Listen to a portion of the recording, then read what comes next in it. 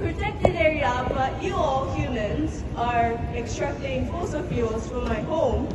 It sounds really weird to me, isn't it to you too?